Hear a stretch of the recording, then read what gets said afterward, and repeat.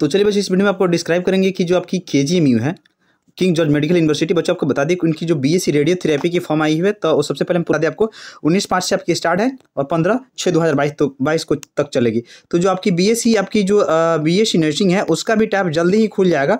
तो बच्चे चैनल को सब्सक्राइब करके ज़रूर रख दे और जल्द ही इसका हम आपका दोस्त से बोले हैं ना, आप आप लोग से बार बार वीडियो में हम बोल भी रहे हैं, बच्चों, अगर हम इसका अगर हम बच्चों आपको बार बार बता भी देते हैं कि दो से तीन दिन में आपका यूट्यूब पर लाइव क्लास लाने जा रहे हैं, ताकि सारे बच्चे का आपका कहीं ना कहीं हम आपका लाइव उसका सेटलमेंट करवा दें। तो इसीलिए जो चैनल को ज़रूर सब्सक्राइब कर रखें, क्योंकि बच्चों हम हम हम बच्चे, क्योंकि चैनल खुद टॉपर रैंक वन वाले भी बच्चे हम पे विश्वास करते हैं और आप लोग को बार बार बताते भी हैं। तो इसी के साथ साथ हम लोग चाहते, हम हम चाहते हैं कि मेरा भी आप लोग जो नेक्स्ट जो बच्चा है, वो भी आपका टॉप करे ताकि सब कोई आपका हम, उसका भी इंटरव्यू ज़रूर ले।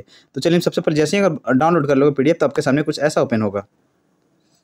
अब देखिए, ये जो आपका इसी प्रकार बी नर्सिंग का भी प्रोस्पेक्टस आएगा सर। ओके बच्चों? देखिए, इनकी जो फॉर्म है रेडियोथेरेपी की, इनकी उन्नीस मई से शुरू है और चलेगी पंद्रह जून तक।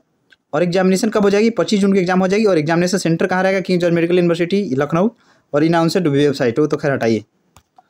अगर नीचे कर ली यहाँ पे, अगर नीचे यहाँ पे कर ले नेम ऑफ़ एग्जामिनेशन है तो बीएससी आपका रेडियो थेरेपी टेक्नोलॉजी एक कोर्सेस है। काफ़ी पॉपुलर रेडियो थेरेपी जो करेगा, उसका लाइफ सेटल हो जाती है। लेकिन देखिए, कितना के कितना पॉपुलर है, आप लोग देख सकते हैं कि कितनी सीट है। तो आप लोग बोलोगे, सर, काफ़ी कम सीट है, पूरा मात्र मात्र आपकी पाँच सीट है ही। तो जो जो भी बच्चे आपका के से किंग जॉर्ज मेडिकल यूनिवर्सिटी से करना चाहते हैं, वह कर ले, क्योंकि आपका एक बार जब इसमें लाइफ सेट हो जाएगा बाबू तो लाइफ बदल जाएगा। इनकी जो क्रिटेरिया की बात कर ले तो एलिजिबल क्रिटेरिया क्या क्या होना चाहिए? एलिजिबल क्रिटेरिया होना चाहिए कैंडिडेट मस्ट भी आपको इंडियन नेशनल होना चाहिए। आपको मिनिमम एजुकेशन क्वालिफिकेशन और कम से कम सत्रह साल आपकी क्या होना चाहिए, आपकी एज होना चाहिए। उसके अलावा आपको क्या होना चाहिए, बच्चों, आप लोग देख सकते हो यहाँ पे। कि कैंडिडेट आपको टेन प्लस टू होना चाहिए और टेन प्लस टू में होने के साथ साथ आपको आप लोग देख सकते हो। वही जो आपको सब्जेक्ट मांग रहा है, उसके अलावा कम से कम कितना परसेंट चाहिए, आपको पचास परसेंट चाहिए और एस सी को कितना परसेंट चाहिए, आपको चालीस परसेंट चाहिए। आगे देखिए। आगे देखिए, ये जो आपको फिजिक्स केमिस्ट्री बायोलॉजी यहाँ पर मांग रहा है, आप लोग देख सकते हो। आगे आप लोग मेडिकली फिट होना चाहिए तो ज़रूरी बात है, और यूपी के बच्चे को रिजर्वेशन मिलेगा। कितना आपका शानदार बात है कि यूपी के बच्चे हम पे विश्वास भी करते हैं। ये जो देखिए यूपी का स्टेट गवर्नमेंट का रिजर्वेशन मिलेगा तो जल्दी से जल्दी आप लोग रिजर्वेशन का फ़ायदा उठाए फ़ी चार्ज कितनी है? तो आपके फॉर्म चीज़ फ़ी चार्ज है तीन हज़ार रुपये यू आर ओबीसी के लिए और एस सी के लिए कितना है? तो फॉर्म फ़ी आपका दो हज़ार है। यूपी में जो फॉर्म होता है ना, उसका जो आपका फ़ी तगड़ा रहता है, क्योंकि आपको बच्चों बता दें कि सबसे ज़्यादा बी एस नर्सिंग की हर चीज़ की मेडिकल लाइन में बहुत जोगी जी के बाद डेवलप हो गया। चलिए आगे यहाँ पे जो हम आपको बता दें, ये जो आपको आगे बता दें एडमिट कार्ड कब आ जाएगी? तो आपकी एडमिट कार्ड आ जाएगी आपको बाईस जून को और जो एग्ज़ाम हो जाएगी, आपको क्या हो जाएगी? आपको चौबीस जून को। ये सभी आपको ध्यान रख लेना ओके बच्चों? आगे देखिए। तो एग्ज़ाम हो जाएगी आपके पच्चीस जून को। कब से कब तक? साढ़े अढ़ाई से आपकी चार बजे तक डेढ़ घंटे एग्ज़ाम चलेगी। रिपोर्टिंग कर लेना है एक तीस तक। वेन्यू को ना आपको एडमिट कार्ड पर दिया रहेगा। आपको एम एग्ज़ाम होगा और टोटल मार्क्स कितना होगा? सौ मार्क्स का एग्ज़ाम होगा। आगे देख सकते हो कि आपका निगेटिव मार्किंग नहीं है तो सबसे बेस्ट अपॉर्चुनिटी क्या? निगेटिव मार्किंग नहीं है।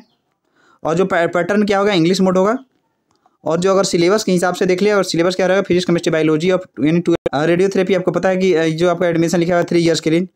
ये जो आपका बहुत सारी चीज़ दिए हुए हैं, खैर, इस समय आपको नहीं जाना है। ये जो आपका एग्जामिनेशन एग्जामिनेशन ये जो आपको एग्जामिनेशन ये जो आपको बच्चों बता रहा है, नब्बे मिनट इतना एग्जामिनेशन एग्जामिनेशन विल भी नब्बे मिनट ड्यूरेशन इतना इतना अढ़ाई से इतना सब ये सब तो आप लोग पढ़ ही लोगे।